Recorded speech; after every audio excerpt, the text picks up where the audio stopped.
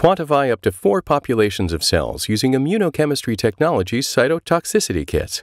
ICT's basic kit will detect and quantify live and necrotic cells, while our total cytotoxicity kit will also quantify cells in early and late stage apoptosis.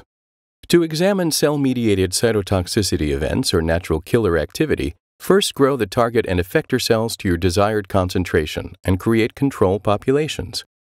Stain the target cells green with CFSE, incubate, wash, add unstained effector cells, and incubate again. If using the total cytotoxicity kit, stain with SR FLICA to label apoptotic cells, incubate, and then stain with 7-AAD to label necrotic cells. If using the basic cytotoxicity kit, skip the labeling step with SR FLICA and simply stain the cells with 7-AAD. There is no need to lyse or permeabilize the cells. Run the controls and analyze the samples using flow cytometry. As only the target cells will be stained green with CFSE, they can easily be distinguished from the effector cells.